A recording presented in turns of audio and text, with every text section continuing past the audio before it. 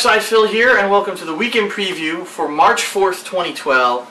Huge week. I am so pumped. I hope that everyone else is as excited as I am for com what's coming this week, and I think everyone knows what's coming this week.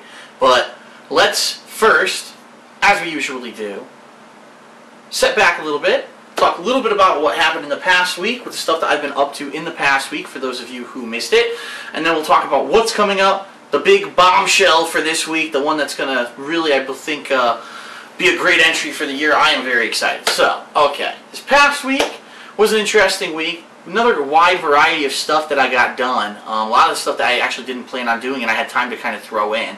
So, on Monday, I completed Syndicate, um, the single player playthrough of Syndicate, and also I was able to try out the Saints Row the Third DLC, Gangsters in Space, which uh, previously I hadn't had time to do the week before when it was released, so I'm glad that I got uh, a chance to do those here on DSP Gaming. Ah, on Tuesday, a couple new retail releases came out. We had SSX and Binary Domain, so I actually did some gameplay of SSX on Tuesday. Now, let's address the elephant in the room, okay, and get this cleared out so that we can talk about what's coming up. Because I really, I think it's a little bit of controversy got caused with my playthrough of SSX. If you don't know, basically what happened was I played about, I think it's like maybe 30 something parts into it, and then I started raging because I was failing so much, and then I quit the game. Okay, and it's rare. Everyone knows it's rare when I quit a game. I mean, in the how many years I've been on YouTube now? I think I started in what 2008. You figure so 2009, 10, 11, 12, in the three and a half, maybe four years I've been on YouTube, how many games realistically have I quit? And so people started calling them out. Oh, Skate 2, Amy, Dark Souls, and there's maybe another small handful. So probably under 10 total games out of the over 20,000 videos that I've made on YouTube. Oh, under 10 games have I ever quit. And now SSX has made the list. So let's address this. I was playing the World Tour mode of SSX, which is the mode where you go through all the different stages of the game and you unlock different uh, dangerous mountains and the goal is to beat like nine dangerous mountains or something like that by the end of the game. And um, a combination of things is really why I quit the game but when it comes down to it I'm just bored okay? To be honest with everyone I played SSX on Tuesday and I played it for maybe three hours or so and after that, I just kind of sat down. I was like, I'm kind of bored. It's pretty much kind of the same thing over and over. You're either going to do a race or you're going to do a, a, a, score rank ranking match where you try to get the highest score doing tricks. And then you're going to go to a dangerous mountain with some kind of a hazard, whether it's thin air, whether there's an avalanche chasing you and you beat it. And I was just, I don't know. It's, I guess, I guess when it really comes down to it, this kind of extreme sports game is not my cup of tea. I just wasn't having fun really playing. Even when, not even when I was failing, but even when I was succeeding, I really wasn't having that much fun after the first hour or so. I was starting to get bored. And so during the course of the week, I was doing other stuff and kind of put it off. And then finally, I played SSX again, some on Sunday, and I just got frustrated playing it, and I was bored, and I just didn't want to play it anymore. And the bottom line is, this is my channel, okay? This is my YouTube channel. I've always said that I'm going to do what I want to do on it. I'm not going to let anyone pressure me into doing stuff that I don't want to do. Now, don't get me wrong. People have suggested things that I've tried. SSX was one of them. A lot of the games that I tried last year, like FIFA, like Madden, like NBA 2K12, like Disgaea, like Catherine. These were all games that I'd never really tried those genres of games before.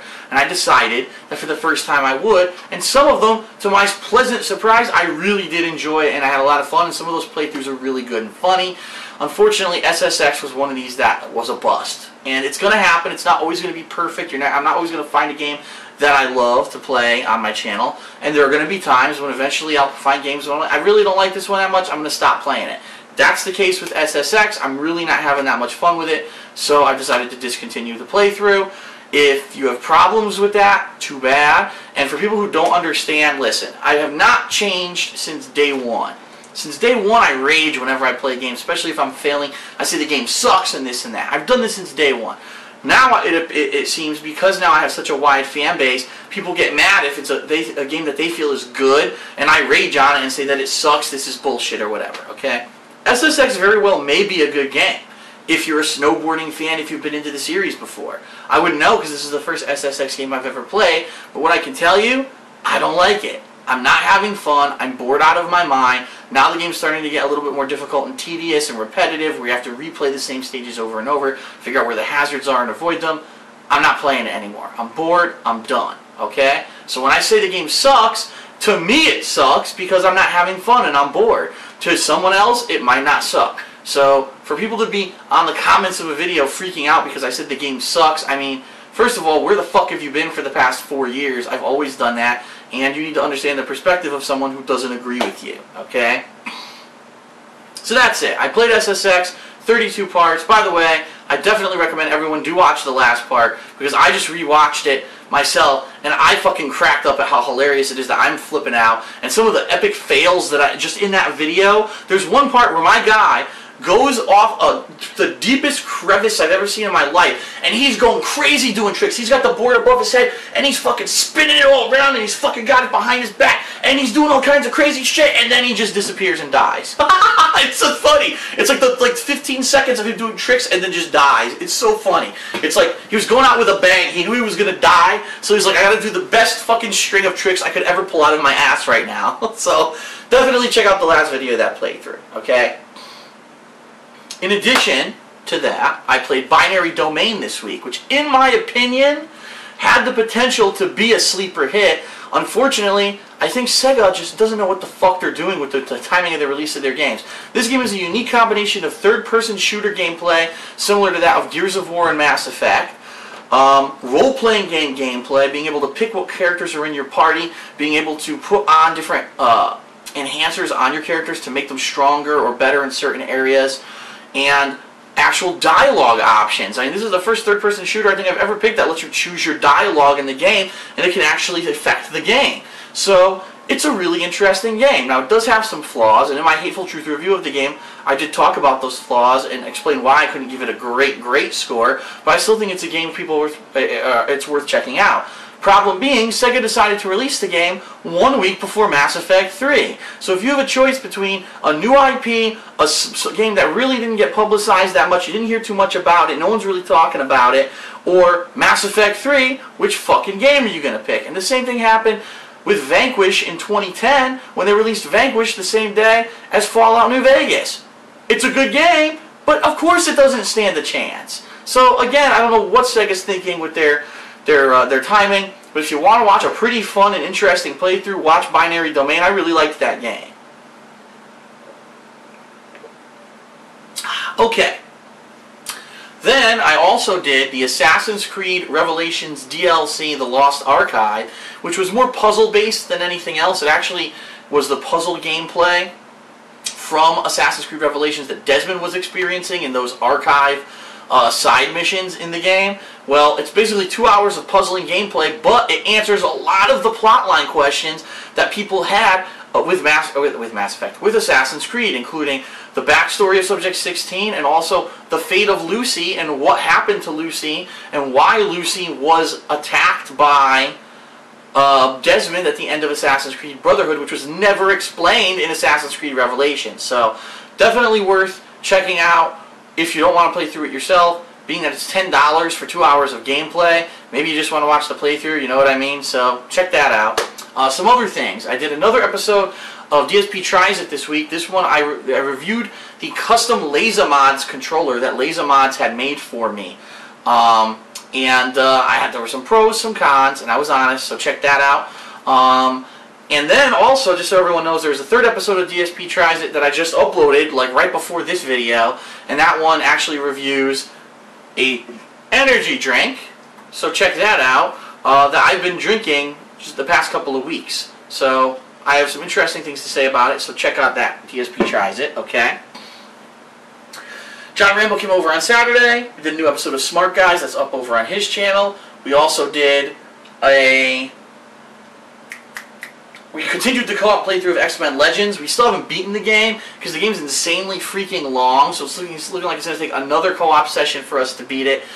But more parts of that playthrough are up on DSP Gaming in the playlist for X-Men Legends, and I think it's funny because we're really we're cracking jokes. We know a lot about the X-Men characters as well, so we're able to crack jokes about their abilities, their backstories, and such. And I think it's a pretty fun playthrough. Whether or not you're a fan of the game, if you're a fan of the X-Men, I think it's a pretty fun playthrough. So definitely take a look at that. Um, and then there was some special videos that I did this week. Um, first of all, there was a batch of five gameplay videos of the new Xbox Live Arcade game Nexuiz, which is a throwback to old arena style uh, Twitch, I think they call them Twitch shooters or Twitch FPS games. It plays a lot like Unreal Tournament. Um, and really, I liked Unreal Tournament and Unreal Tournament 2 when they came out. I thought they were really good games, and it really feels like a throwback to those games. Now, in this case, I actually had the exclusive, uh, I was given exclusive access to the game early. And obviously no one was playing it online because the game wasn't out yet, but I was able to play the game against a couple bots um, this was all because I'm a Machinima partner. Machinima gave me this special opportunity to check out this game, so I did, and I did a five a five video like limited series showing how to play this game against bots and showing off some of the stages and game modes of this game. And then as a promotion, I was actually able uh, to give away three free copies of this game to some lucky fans who followed me on Twitter at They Call Me DSP. And that all happened on Wednesday, and I want to say thank you to Machinima for allowing me to participate in that. It's really cool that I got to give that that out to the fans uh, who are dedicated and you know who you know finally they kind of got something back for their time for watching my video. So that was one special thing. Now another thing that I had no plans on doing, but I ended up doing was a two or a two video series on what's going on currently in the fighting game community. There's been a lot of drama over the past week regarding the fighting game community because of some sexist things that happened during the Cross Assault web reality series this past week. I'm not going to get into it here. I've already said my piece. If you want to see what I have to say about it, in addition to that, but also giving background to the fighting game community, how it started in arcades, how it grew into a competitive community, and some of the mentality of the people in that community because of that, definitely check out that two-episode series here on DSP Gaming. Um, I think it's really important that people understand what's going on uh, and get the real story on what's going on rather than just listening to either one side or the other side. I have a unique perspective being kind of in the middle. So definitely take a look at that if you haven't already. Um, a lot of people have found some pretty good insight in those videos, okay?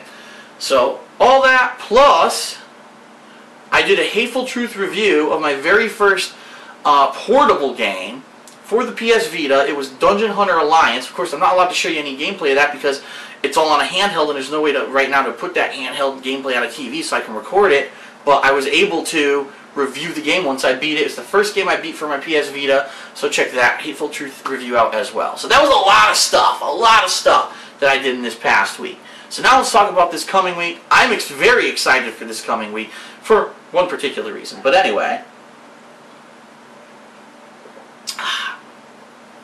Monday is going to be a slow day. And the reason I say this is because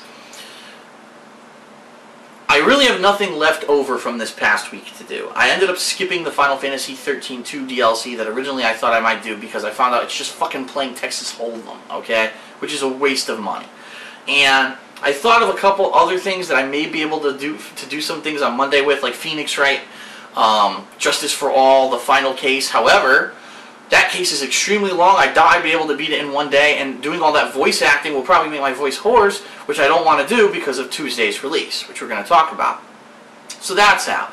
I didn't want to start Kingdoms of Amalur Reckoning because I don't want to only play it for a day and then have to put it on the shelf for, for you know, however long. So that's going to be a game that for when I have several days to go through it, that I'll be doing that one. But So that's off the you know the list of stuff. So I started thinking about games that I hadn't done some modes of. I said, that's right, UFC Undisputed 3, I have not played online. In fact, I don't even know how the online play works. If you can pick a character, like can I pick Forrest Griffin and try to use him online? Is Forrest Griffin online even going to play anything like he did in my playthrough of his career mode? Because remember, I was customizing him during the gameplay, so I have no idea. So there's a possibility I may do some UFC Undisputed 3 online, or I may do something completely different and off the wall. I thought about doing fan appreciation, but unfortunately for fan appreciation, usually it makes sense to do it later on in the day, so that way I can have people on the West Coast and all throughout the United States who can participate, and then usually it makes sense to do it earlier in the day for people who are like in Europe and international, but because of what's happening on Tuesday, I don't have that flexibility, and I'll explain why in a second. So Fan Appreciation was out, so I'm going to think of something to do on Monday. I don't know exactly what it's going to be, but it's going to be something cool. And so definitely check out whatever I do on Monday, okay?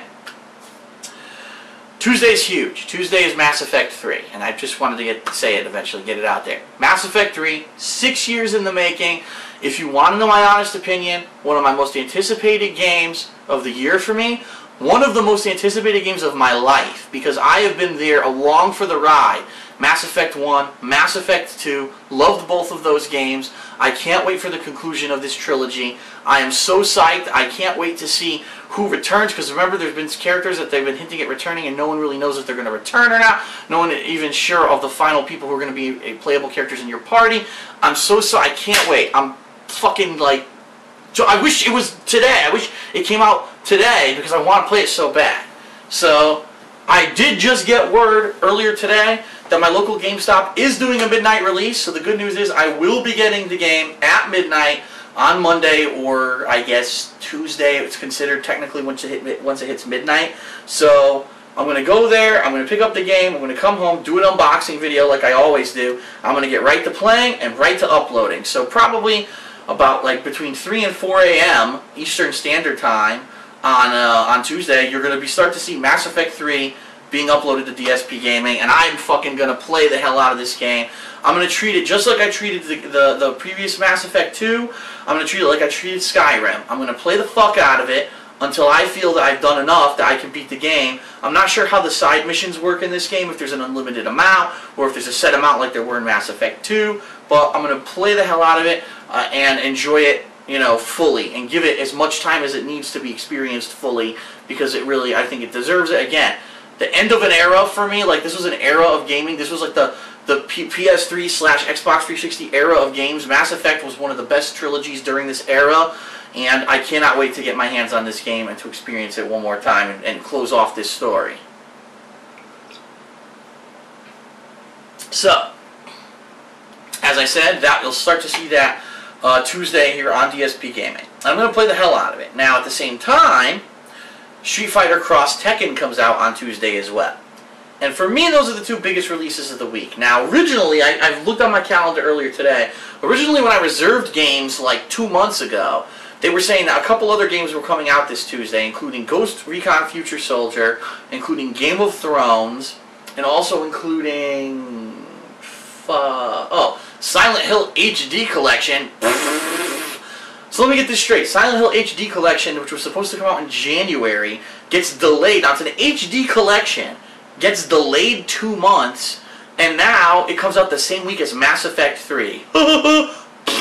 what a bunch of assholes. Like, worst possible timing to release one of the biggest releases of the year. Let's delay a HD rehash collection to that week. What a bunch of fucking morons. But I digress. That's not the point.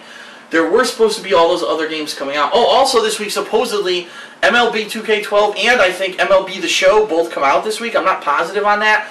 But here's the thing. I'm going to focus on Mass Effect 3. I'm going to play the hell out of it. And then I will also be playing some Street Fighter Cross Tekken over on my fighting game channel, DSP Street Fighter. That's the footage you're going to see Tuesday, Wednesday, Thursday of this week. And that's all you're going to see. Mass Effect 3 here on DSP Gaming. Street Fighter Cross Tekken over on DSP Street Fighter, and that's it. Any other games, in my opinion, this week are secondary to those two, and unfortunately need to be put on the back burner. It doesn't mean I'm not going to buy them if they're out, but they're going to remain on the back burner until I get through those two games because I think they're the biggest releases of this week. Now you might be saying, well, what do you mean, Phil? Tuesday, Wednesday, Thursday. What about the rest of the week? You know, Friday, Saturday, Sunday, Monday. Well, this weekend is the weekend that I'm actually going to spend with my girlfriend, Panda Lee. She's going to be here. And so while she's here, we're going to continue our playthrough of Ratchet and Clank All for One. Hopefully we'll beat the game. Again, I'm not sure how long it is, but we're definitely going to be playing more of that and probably beat it, I'm hoping.